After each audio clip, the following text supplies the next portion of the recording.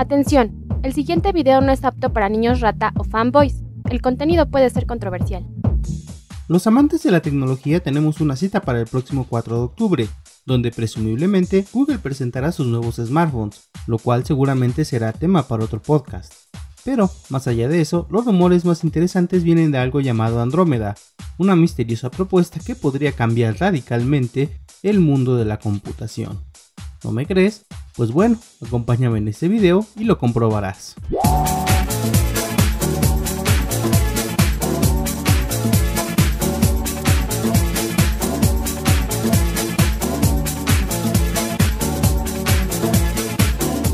Hace tiempo que Google ha tratado de hacer de su navegador Chrome la pieza central de toda computadora, y para un gran número de usuarios ciertamente lo es. El uso del navegador es generalmente para realizar búsquedas, ver redes sociales, leer el correo electrónico o acceder a servicios multimedia como YouTube. Pero esto no parece ser suficiente para la gran G, pues desde hace tiempo ha buscado dar mucho más protagonismo a su navegador. Ejemplo claro de esta filosofía es la paquetería ofimática de Google Drive, la cual nos permite crear y editar documentos desde el propio navegador, sin necesidad de instalar programas adicionales. La idea del navegador conquistando a la PC fue lo que llevó a la creación de Chrome OS, un sistema operativo basado únicamente en el navegador de Google, así como también a la creación de las Chromebook, que son dispositivos parecidos a las laptops pero pensadas para este sistema operativo. Sin embargo, estas ideas no han tenido el éxito deseado por dos factores. El primero de ellos es que por mucho que Chrome sea una pieza fundamental para los usuarios, realmente no es lo único que se utiliza en una computadora, aún para los usuarios más básicos pues si bien las Chromebook dicen estar enfocadas para estudiantes, la verdad es que se quedan cortas, porque dependiendo la carrera que estudies, seguramente necesitarás instalar software adecuado, ya sea simuladores de circuitos eléctricos, lenguajes de programación, software de diseño y edición de fotografía, etc. Programas que una Chromebook no puede ejecutar, cuyas alternativas en la web, si es que existen, no son tan sofisticadas como para sustituir a los programas antes mencionados. El segundo factor es el precio, pues una Chromebook cuesta prácticamente lo mismo que una laptop de gama media, y cuando el público en general compara ambos dispositivos y ve lo que cada uno ofrece, es bastante obvio que una laptop ofrece muchas más posibilidades, sin importar si esta lleva OS X de Apple, Windows de Microsoft o bien cualquier distribución de Linux GNU. Ante esta situación, Google ha decidido vitaminar a Chrome OS permitiéndole ejecutar aplicaciones de Android, lo cual ciertamente le añade más funcionalidad, pero nuevamente se enfrenta al problema de que en Android tampoco se pueden ejecutar programas como los ya mencionados previamente. Cierto es que se tienen alternativas, pero son menos complejas y menos poderosas, ya que están pensadas para un uso casual, no escolar y desde luego no profesional. Hay que mencionar que ciertamente Android ha querido evolucionar. La prueba está en que Nugget, la última versión hasta la fecha, ha dado el paso para tener un entorno multiventana, lo cual es la carnada para que los desarrolladores se atrevan a realizar aplicaciones más complejas que enriquezcan el ecosistema Android. Y esto, en la opinión de algunos expertos, es lo que llegaríamos a conocer como Andrómeda. No una fusión de Chrome OS y Android, sino más bien una versión de Android con esteroides que heredaría algunas cosas de Chrome OS. Hay que ser claros, Andrómeda no buscaría reemplazar al sistema operativo Android, ya que este seguiría en desarrollo y seguiría instalándose en smartphones y tabletas de consumo, como lo hace actualmente. Pero en el caso de Andrómeda, el hardware sería mucho más potente, pues los dispositivos que llevan ese sistema operativo estarían enfocados al sector profesional. ¿Les suena familiar este concepto? Pues por supuesto que les debe sonar familiar, porque es exactamente lo mismo que Apple lleva haciendo con iOS y OS X desde hace mucho tiempo, y es exactamente lo mismo que Microsoft lleva haciendo con Windows 10 Mobile y Windows 10 desde hace mucho tiempo.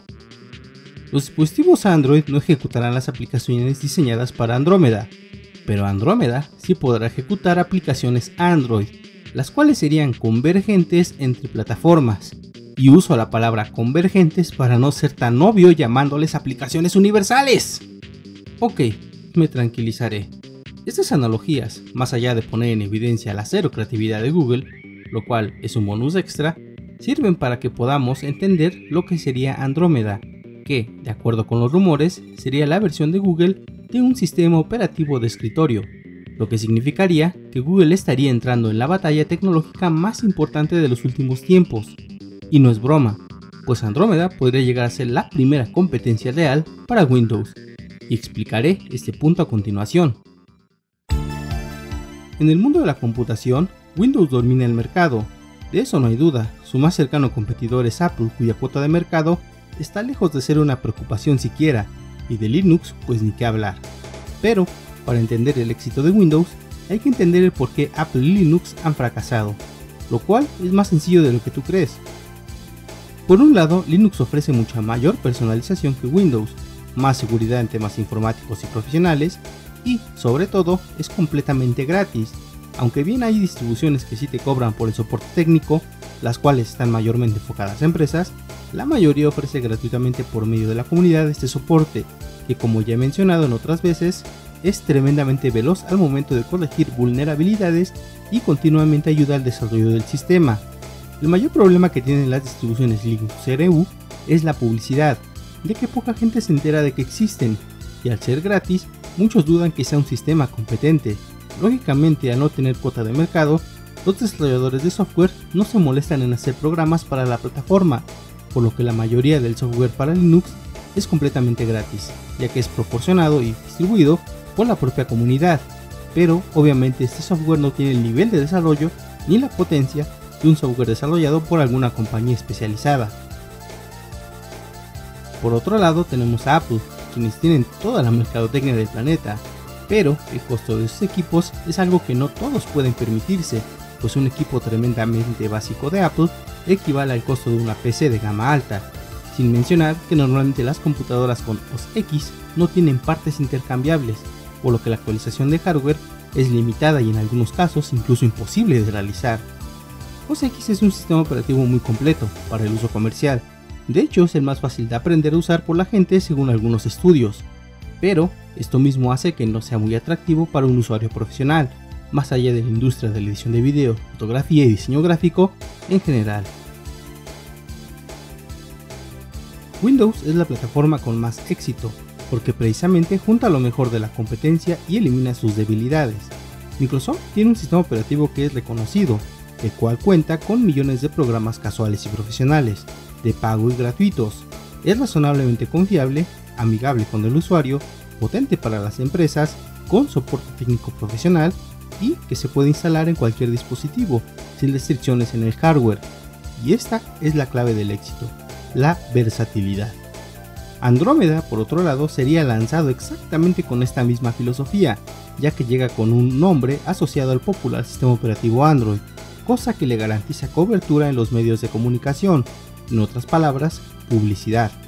Teóricamente se podría instalar en cualquier hardware, como lo hacen las distribuciones Linux GNU, su interfaz sería amigable para toda persona que haya usado previamente un móvil con Android y tendría el soporte técnico de Google.